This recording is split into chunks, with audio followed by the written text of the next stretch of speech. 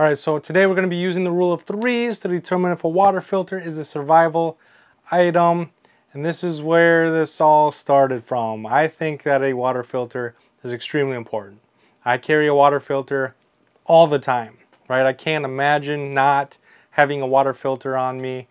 And I view it as a survival item. I view it as something that I don't want to be without ever, right? If I'm in the woods, if I'm going somewhere I'm not familiar with, I want a water filter.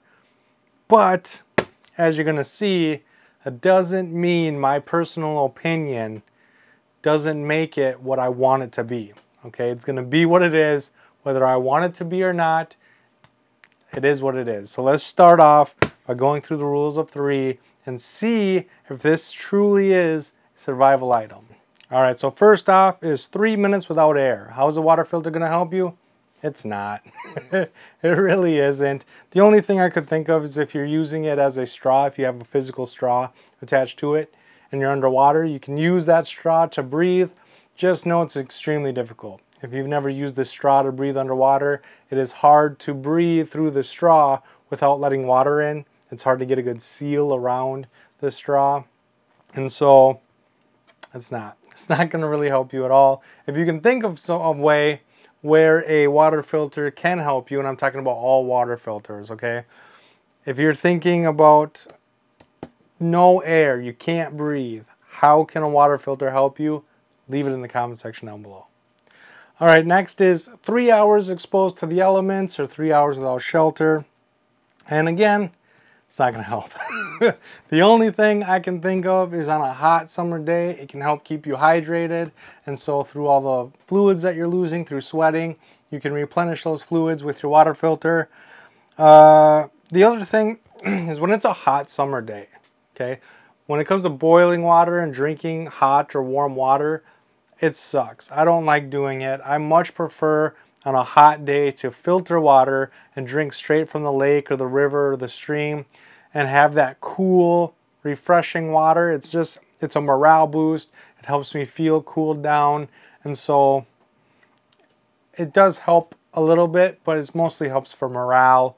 Uh, water is water. It doesn't matter. As long as you're replenishing what you're losing, you're going to be doing well. So again, it's not really going to help that much, but it does help a little. Finally, we get to a good one. okay, three days without water. This is where a water filter is really going to shine. You have so much water. Uh, all you need is a lake, a river, a stream, a pond, a puddle. Uh, it doesn't matter. As long as there's water somewhere around you, you will be able to drink it. And now I understand that not all filters work everywhere, uh, like the LifeStraw and the Sawyer Mini and Sawyer Squeeze. They don't filter out viruses or pesticides or anything like that. And so you will need a like a Berkey or a Grayl filter that does filter those things out. And so not all filters are going to work everywhere, but if you have the right filter and you are have any access to water, you have the ability to stay hydrated, drink clean water that's not going to make you sick. And so this is where a water filter really does shine. When it comes to three days without water and you have a water filter, you don't have to worry about a thing. So that's where it really, really comes in handy. All right, next is three weeks without food. Again, it's not going to help you. The only thing I can think of is you're going to be able to fill up on water instead of food. And so while you're waiting for your next meal, you're not going to feel so hungry.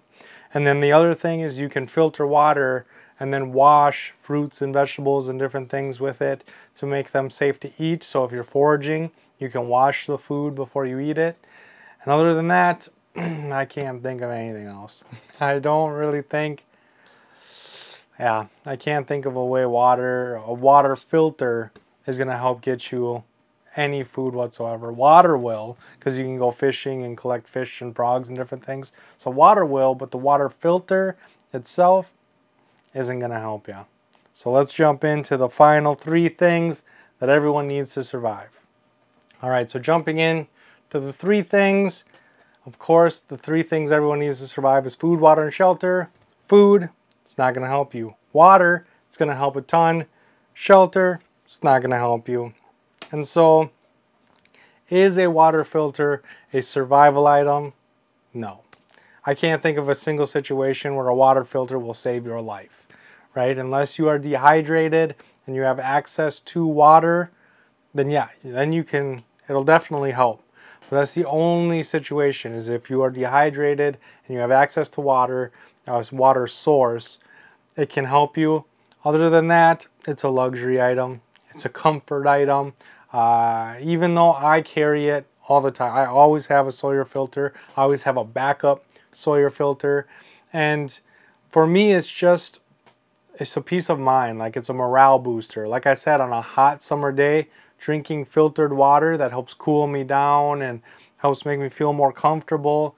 It's so much nicer than boiling water and drinking hot water on a hot day. And it is doable. I've done it. It does work. You know what I mean? But it's just, it's, it's a lot more enjoyable right? And so even though I want a water filter to be a survival item, even though I put it in all my survival kits, even though I carry it with me all the time, and I I personally view it as a must-have item, like you must have it, you must carry it. It's not. And using the rule of threes, we can easily determine that it is not something everybody needs. It's not something that everybody should carry.